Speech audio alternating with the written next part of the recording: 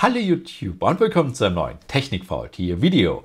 Es wird Zeit für meinen Testbericht zu den neuen Apple AirPods 3. Und seit genau drei Wochen nutze ich diese Kopfhörer, teste sie auf Herz und Nieren, bin hingegangen, habe sie mit haufenweisen anderen Kopfhörern bzw. Ohrhörern verglichen. Allen voran natürlich auch mit dem Hauptkonkurrenten in meinen Ohren, den AirPods Pro von Apple. Ich weiß, das ist eigentlich eine andere Baustelle, das erkläre ich aber gleich ein bisschen genauer. Wir gehen das Ganze jetzt gleich der Reihe nach durch. Wie gut klingen sie? Wie gut ist die Akkuqualität? Wie gut kann man damit telefonieren und Sprachnachrichten verschicken? Wie, was ist hier mit IP-Zertifizierung? Was ist mit Sitz, Halt, Bedienung, Komfort und solchen Sachen? Aber dann natürlich auch die Frage, es ist halt dieses offene Design, so wie wir es eigentlich von den Apple AirPods schon ewig kennen. So ist es auch hier, also kein In-Ear. Wie gut klingt das Ganze dann oder wie viel Ton, wie viel Umgebungsgeräusche kommen denn da wirklich noch ans Ohr?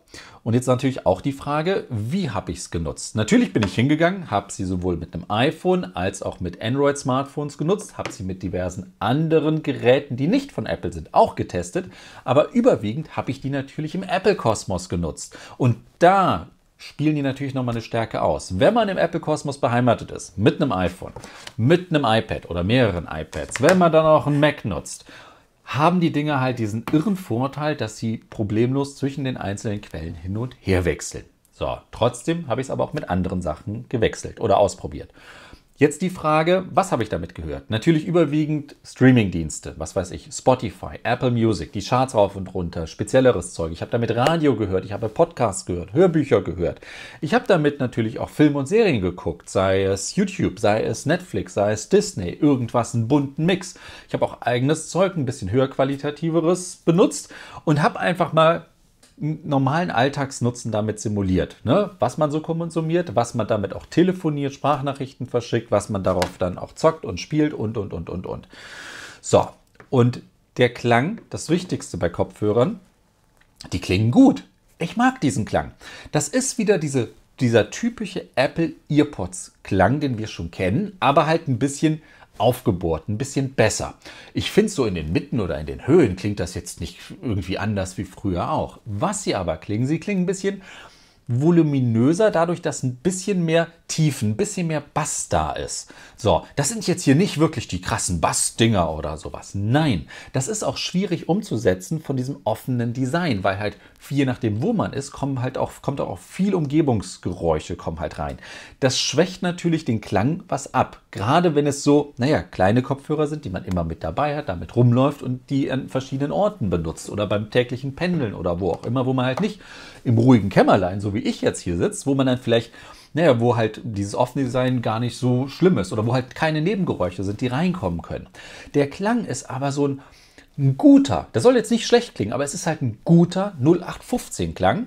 Und wer von früheren AirPods kommt oder Earbuds von Apple kommt, der kriegt ja halt ein bisschen mehr Volumen, ein bisschen mehr Fülle noch rein. Also wie gesagt, oben, mitten gar nicht so, aber von unten kommt halt ein bisschen was rein. Das vielleicht zum Klangbild oder zu dem, was ich versuche hier zu beschreiben. Ähm, Zusätzlich werden die auch ziemlich laut. Das müssen sie auch werden, denn durch dieses offene Design, je nachdem wo ich bin, muss ich die Dinger deutlich höher drehen, als wenn ich das, was weiß ich, mit AirPods Pros, mit Sony äh, FWF irgendwas äh, mit irgendwelchen In-Ear-Dingern. Die In-Ear-Dinger haben einfach den Vorteil, sie schotten die Ohren besser ab, es kommt weniger Geräusche von draußen ran, weniger Lärm. Jetzt egal, ob es ANC oder nicht da ist, ne? das spielt da noch gar keine Rolle. Da brauchen, muss man die nicht so laut drehen. Hier habe ich aber die Möglichkeit, sie sehr laut zu drehen. Und natürlich war ich mit denen auf Achse rumgelaufen, sogar, ich konnte sie sogar am Flieger testen. Aber das sind dann Sachen, wenn man die dann, ich sag mal, im ruhigen Kämmerlein mal voll aufdreht oder weiß, wie laut die dann bei 80 Prozent sind oder 90 Prozent, dann will man das nicht wirklich nutzen. Wenn man dann aber in einer lauten Umgebung ist und versucht mit der Lautstärke gegen die Geräusche, die draußen sind und die vor allem an eure Ohren kommen, gegenzusteuern und dann merkt, okay, das verstehe ich jetzt, ich höre meine Musik oder meinen Text oder sowas, aber dann gleichzeitig sieht, ich ich bin bei 80, 90 oder 100 Prozent. Oh, ne, was dann da auch für eine Belastung für die Ohren ist. Aber sie werden halt, also bei Bedarf können sie auch entsprechend laut werden.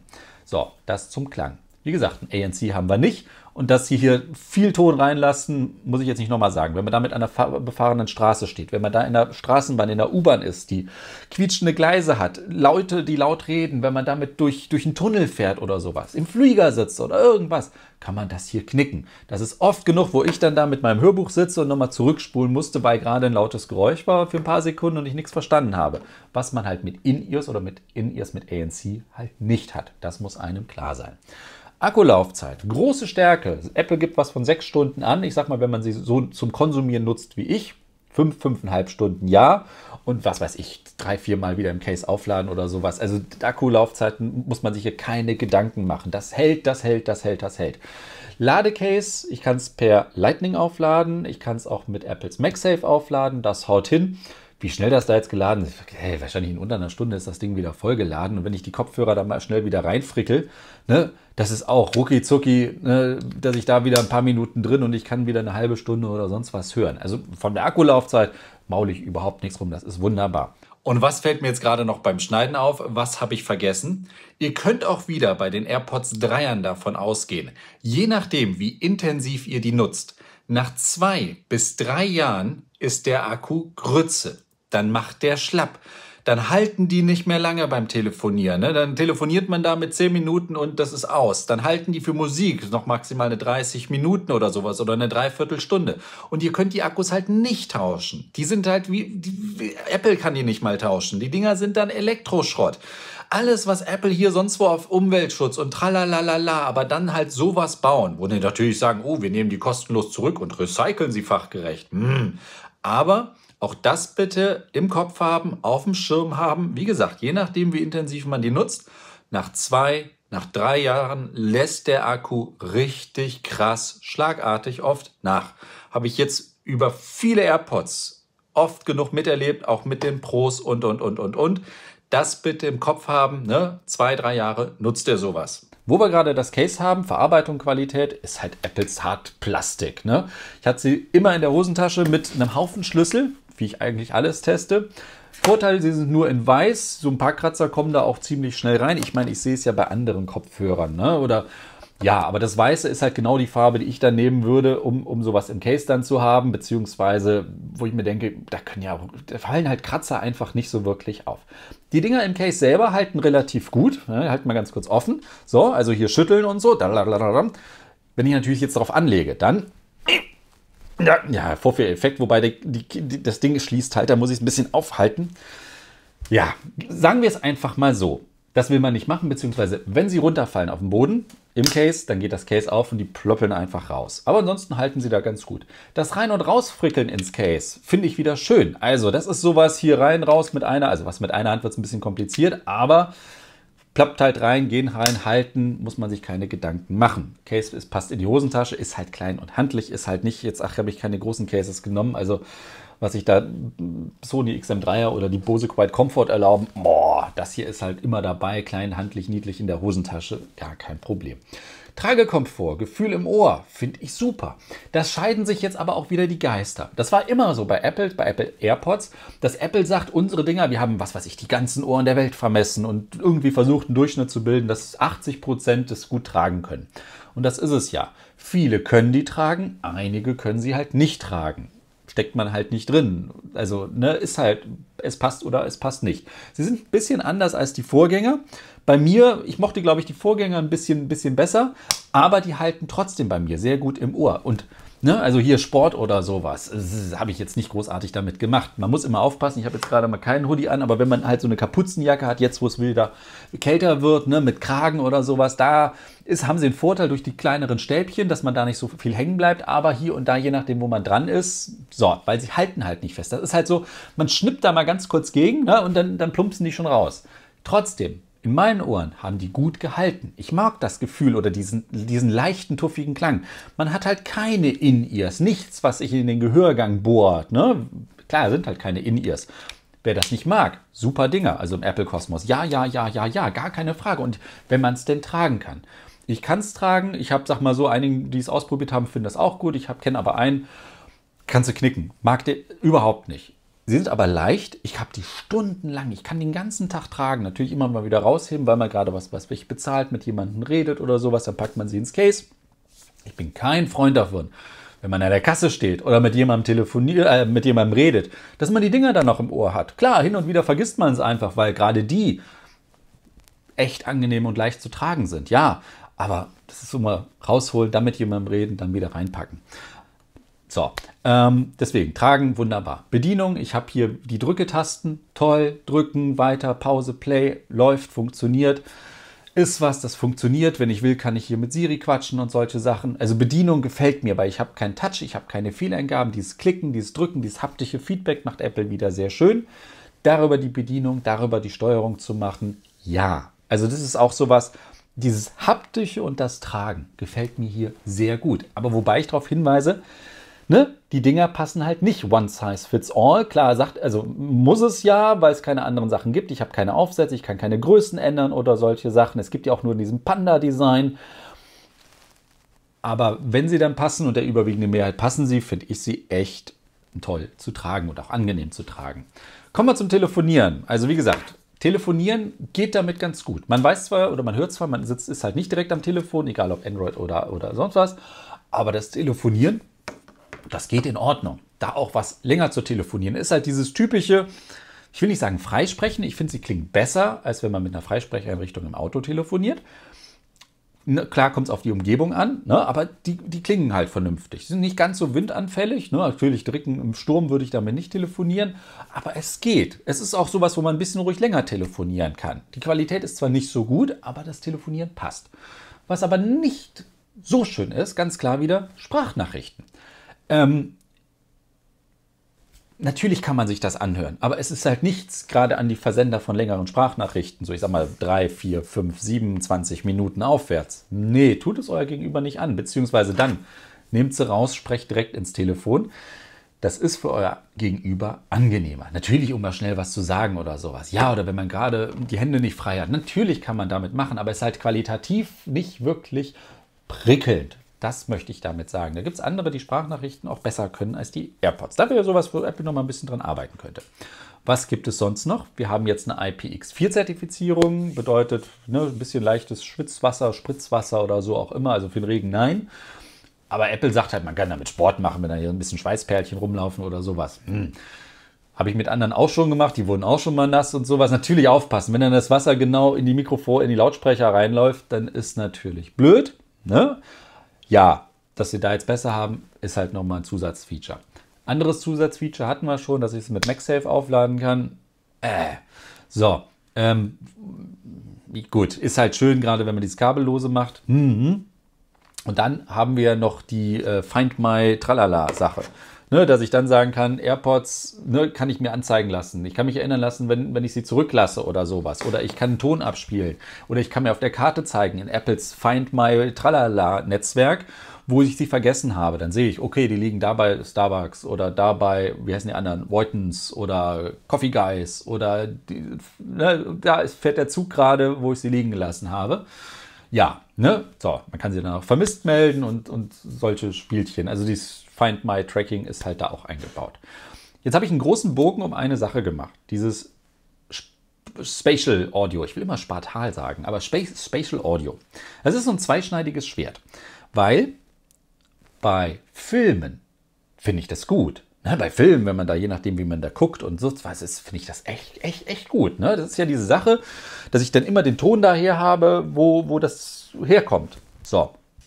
Also, ne, ich gucke ein Video oder sowas und dann, äh, jetzt ist beides gleich und dann gucke ich da und dann weiß ich ganz klar, höre ich den Ton eher aus dieser Richtung kommen oder da aus dieser Richtung. Bei Filmen, wie gesagt, finde ich das super oder bei Videos. Bei Musik haut es halt oft auch hin, aber die Qualität ist halt eindeutig schlechter. Ich glaube, Apple macht da irgendwas, dass Künstler oder Musiker oder was auch immer das genau darauf anpassen können, dann soll das nochmal besser klingen. Aber man hat eindeutig einen Klangqualitätsverlust den, ne, wenn ich das dann nutze. Es ist ein tolles Feature, damit rumspielen. Das erste, ich weiß noch, es irgendwie Twitter-Videos das auf einmal unterstützt haben. Und dann dachte ich hier, fuck, ich bin in der Bahn.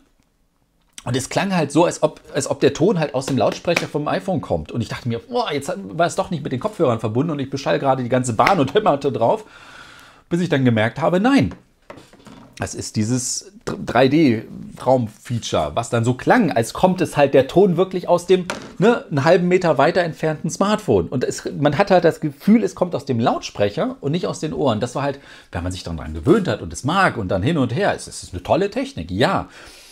Aber es ist oft bei Audiostücken auch mit einem, ja, mit einem Verlust von Audioqualität verbunden. Das ist halt so die Frage. Geiles Spielzeug oder äh, will ich in Ruhe halt eine vernünftige Qualität haben? So, jetzt haben wir all diese Punkte gerade mal durchgegangen. Jetzt kommen wir zur Preisfrage und Alternativfrage. Apple hätte für diese Dinger gerne 200 Euro. Ich weiß, jetzt argumentiert der eine oder andere, ja, das ist ja günstiger als die AirPods 2er mit dem drahtlosen Ladecase, was wir ja vorher hatten, die, glaube ich, 30, 20 Euro mehr kosteten. Oh, super. Apple macht etwas günstig für 200 Euro. Muss man. Ich versuche das zu, zu, zu andersrum. Hätte Apple das hier vor zwei, drei Jahren so gemacht, dann wird man sagen, teuer, aber man weiß, es hält. Da komme, sage ich aber auch noch gleich was zu. Dann, dann, ähm, ja. Aber wir sind Stand jetzt in einem hart umkämpften Markt, muss man ja nicht anders sagen, wo wir haufenweise in einem Segment von 100 bis 200 Euro zehn Anbieter haben, die alle vernünftige, mal besser klingende, mal weniger gut klingende, mal gut zum Telefonieren, mal weniger gut zum Telefonieren, Kopfhörer, aber in der Regel mit ANC rausbringen, die dann dieses Feature noch haben. Und da halten die halt nicht so wirklich mit. Sie haben den unglaublichen Vorteil dieses der Einfachheit im Apple-Wechselkosmos. Wenn ich eine Apple-Geräte habe und dahin mit zwischen mehreren wechseln will, gerade mit, weil ich Kopfhörer trage und dann zwischen iPad und iPhone oder iPhone und Mac oder Mac und iPad oder irgendwas wechsel, dann ist das toll. Dann ist das dieses Apple-Kosmos-Bonus. Und dann sage ich auch für Apple-Nutzer, holt euch dieses Apple-Zeug, wenn ihr heute häufig wechselt. Das ist halt eine schöne Sache. Ja, aber gleichzeitig, wenn man sich das anguckt, für 200 Euro bekomme ich bei anderen deutlich mehr. Oder ich bekomme das Gleiche und kriege im Endeffekt noch ANC obendrauf und so solche Sachen. Da halten die nicht mit. Und jetzt sagt der eine oder andere, ja, aber ich will ja im Apple-Kosmos bleiben. Bam! AirPods Pro. Da kommt dann noch als Kritik und sagt dann jemand, ich mag aber dieses In-Ear nicht. War ich früher auch kein Fan, aber ich will nicht sagen, In-Ear kann man sich gewöhnen, aber wenn man die Aufsätze durchprobiert, bis es dann mal etwas besser passt und wenn man dann die Vorteile hat von, man kriegt weniger Umgebungszeugs mit, man hat einen besseren Ton dadurch und man hat dieses ANC, fällt mir kein Grund ein, muss ich ganz ehrlich sagen, warum ich für 200 Euro, und das kosten sie jetzt immer noch, für 200 Euro AirPods 3 kaufen soll, wenn ich auch für, ich habe gerade mal die Preise geguckt, große Händler immer noch 210 Euro, für einen Zehner mehr AirPods Pro bekomme. Die haben das ANC, die haben die Klingen besser durch die, durch die Abschottung. Da habe ich einfach deutlich mehr von. Das können auch meine richtigen Reisedinger sein. Die kann ich auch auf Achse vernünftig tragen. So, und das, das, die klingen dadurch besser, dass sie abschotten. Und ich habe dieses ANC on top für einen Zehner mehr oder selbst die. Ganz kurz, als Apple die rausgebracht hat, haben, waren die verschwunden, die großen Hersteller alle rausgenommen, weil jeder natürlich sagt, wenn ich die hier schon Land auf Land ab Saturn, Mediamarkt, was auch immer, Amazon, hatte die regelmäßig für 1,97, äh, nee, 1,79, also 180 Euro. Dass Apple da versucht, zu, irgendwie mit dem, man redet ja hier, ne, es dann schwer wird. Klar, wenn man sagt 50 Euro mehr hm, oder wenn man sagt, ich bin halt kein Freund von In-Ears, dann, dann, dann ist das hier auch sehr interessant. Ja, aber gar keine Frage. Ah, für, für, für einen Zehner mehr oder fürs gleiche Geld oder sogar für weniger Geld. AirPods Pro. AirPods Pro. Gar keine Frage. Also muss man ganz ehrlich sagen, Apple hätte die Dinger hier, ja, ich finde sie auch besser. Also wenn ich jetzt gucke, die AirPods 2 kriege ich für na, 110, 120 Euro. Dadurch, dass sie kleiner sind, eine längere Akkulaufzeit haben, dieses 3D-Feature und ein bisschen mehr Volumen-Bass. Mmh Apple hätte die für 150 rausbringen sollen. Dann wäre es vielleicht interessant oder noch weniger, weil wie gesagt, wir haben da so viele interessante Kopfhörer auf dem Markt, dass die preislich, nee, nee. Also wie gesagt, die sind schön gemacht für den Apple Kosmos. Und wer jetzt einer fragt, oh, soll ich mir als Android-Nutzer sowas holen? Nein, hol dir irgendwelche anderen, die dann auch weiß aussehen oder sowas. Aber nein. Also, die sind gut, aber sie sind zwei, drei Jahre, sag ich mal, aus dem Markt. Oder für die 200 Euro hätte Apple eigentlich hingehen müssen, um diese 200 Euro zu rechtfertigen und da irgendwie eine ANC einbauen müssen. Das hätte nicht so krass sein können oder kann ja auch nicht so gut funktionieren wie bei In-Ears. Aber dass da eine gewisse Geräuschfilterung auch noch funktioniert, ne? dass dann da irgend sowas ist, was dann das tägliche Pendeln nochmal mit den Dingen attraktiver macht. Ja, aber für 200 Euro Nee, ganz klare Sache. Dann, dann lieber AirPods Pro ne? oder ich greife zu vielen anderen Sachen, wenn ich. Ja, so, das soll es jetzt aber auch gewesen sein. Vielen Dank fürs Zugucken. Macht es gut und bis zum nächsten Mal. Tschüss.